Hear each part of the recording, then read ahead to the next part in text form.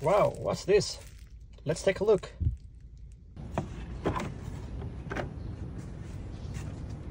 Look at the velocity design. This should provide better airflow and maximize the performance. Remove intake tube. Itu. Yep.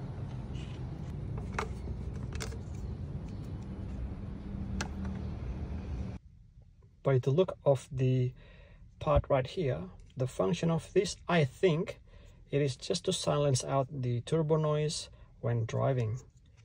Other than that, there's no use of this part right here, just to generate um, less noise inside the cabin. That's all.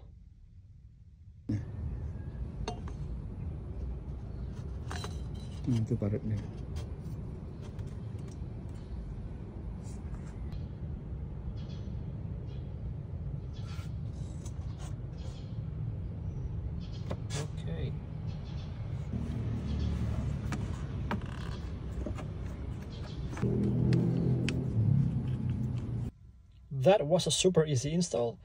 Now we can turn on the car and test it out.